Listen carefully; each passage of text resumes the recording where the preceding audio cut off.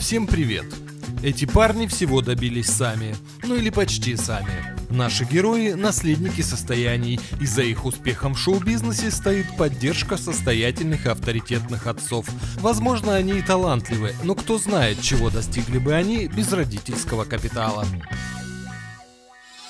Отец артиста Эмина – один из самых богатых людей России.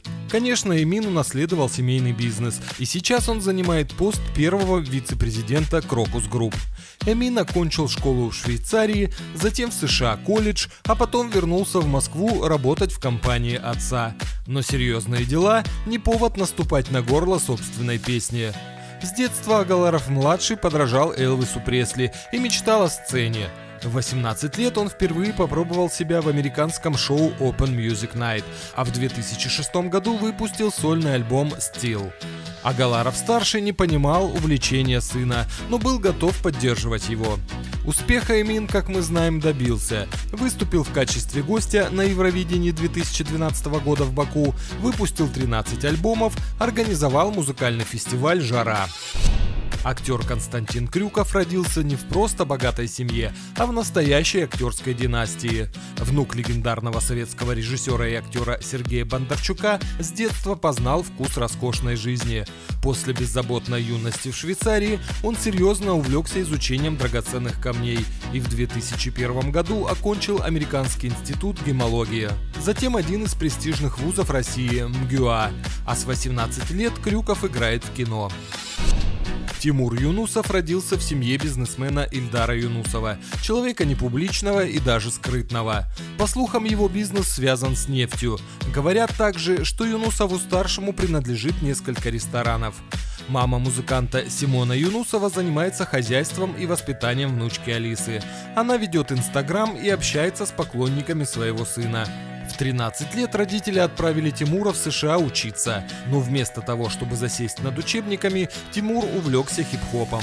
Вернувшись на родину, он создал группу и начал выступать с Децлом. Тимур бросил учебу в высшей школе экономики и занялся организацией вечеринок в Москве. В 20 лет Тимати попал на фабрику звезд. Там родилась группа «Банда». Предпринимательский талант помог Тимати создать собственный лейбл Black Star Inc., а также несколько бизнес-линеек. Звезда сериала «Даешь молодежь» Андрей Бурковский тоже не из простой семьи. Его отец Владимир Бурковский, томский предприниматель, а мать – владелица ресторанов «Вечный зов» и «Хмель» в родном Томске. Сегодня Бурковский успешный актер и примерно семьянин. А слухи о том, что здесь не обошлось без денег родителей, пусть остаются домыслами завистников. Отец рэпера Глеба Голубина, известного многим как «Фараон», знаменитость в мире российского футбола. Голубин-старший занимал пост ген-менеджера Академии футбола имени Юрия Коноплева, руководил футбольным клубом «Динамо», работал персональным спортивным агентом. Сейчас Голубин работает в агентстве и спорт и занимается продвижением молодых футболистов. Конечно, отец не видел для своего сына будущего вне футбола, и какое-то время все шло по плану. С 6 до 13 лет Глеб играл в «Динамо», «ЦСКА» и «Локомотив». К сожалению, юноша не показывал высоких результатов. Глеб, по собственным словам, устал сидеть на скамейке запасных и переключился на судейство юношеских команд, но ему стало скучно.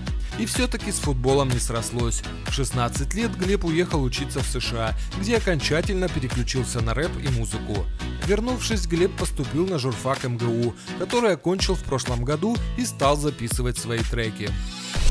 Первая известность к Родиону Газманову пришла в возрасте 6 лет. Когда у популярного певца Олега Газманова начал пропадать голос, он решил сделать ставку на сына и написал еще совсем юному Родиону песню «Люси». С этой композицией звездный папа вместе с одаренным малышом собирал стадионы. В какой-то момент Родиону все надоело.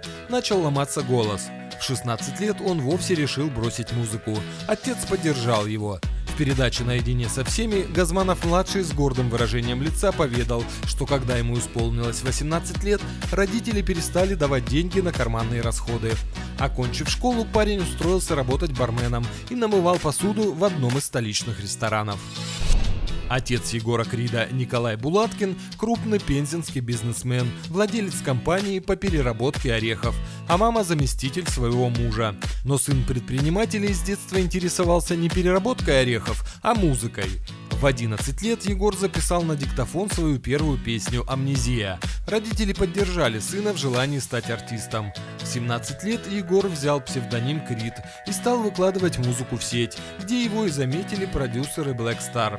Егор отрицает участие родителей в его карьере и говорит, что прославился благодаря интернету. Популярным Стаса Пьеху сделала все та же «Фабрика звезд», на которой вместе с Тимати он стал делать свои первые шаги в шоу-бизнесе. Как только парень с известной фамилией появился на экране, зрители уже приготовились кидать в него тухлые помидоры с криками «Уйди, мажор с эстрады!». Но Стас поступил умнее и начал рассказывать в интервью, что его знаменитые родственники были против участия в «Фабрике», а он пошел им наперекор и всего добился сам. По словам артиста, его детство совершенно нельзя назвать счастливым, так как с ранних лет музыканту не хватало любви и тепла. Кроме того, в марте 2015 года Стас сделал сенсационное признание, что много лет прожил в детском доме. Как утверждает Пьеха, звездные родители и родственники были слишком заняты собственными делами и постоянно оставляли его с домработницей, которая по совместительству являлась директором интерната для детей. Именно в этом месте будущий певец провел массу свободного времени. Позднее Стас также признался, что в юности у него была тяга к алкоголю и наркотикам. В общем, по словам музыканта, детство у него было не сладкое. Правда, душещипательная история артиста трогает далеко не всех его поклонников. Многие из них убеждены, что печальные события в жизни певца являются ничем иным, как плодом воображения Пьехи, и что если бы не его знаменитая бабушка, он бы никуда не пробился. На сегодня все. Пиши в комментариях, кто еще из звезд добился славы не без помощи состоятельных родителей.